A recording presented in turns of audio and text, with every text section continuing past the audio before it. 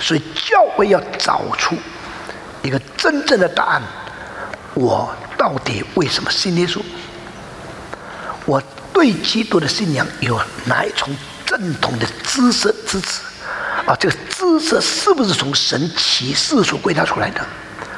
所以他们查考旧约，要在旧约中间找出是不是上帝的计划中间有一位这一位以神的身份到地上来做人的神人二心的中保。结果有一些的人接受耶稣有神性，有一些的人不能接受耶稣有神性，不能接受耶稣有神性，怎么解释耶稣行神迹的事情呢？结果就找出那个折中的办法。耶稣是神，但是他是上帝下面的次等神。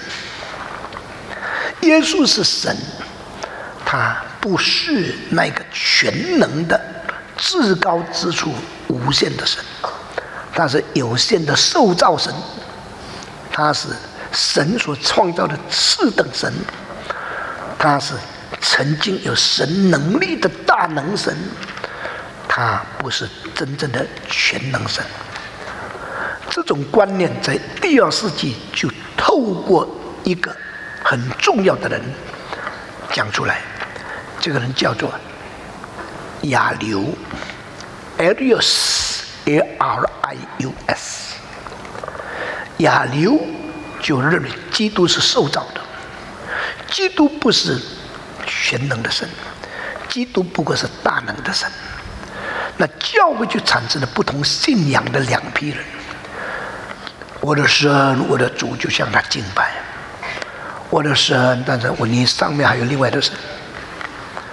这两种同在教里面，那么你说可是可非，可走这条也可那条这条，模棱两可。如果是这样的话，教会是要分裂的，啊，教会要在道上合一，教会在信仰上合一，跟今天派灵恩派所搞的合一是完全不一样的事情。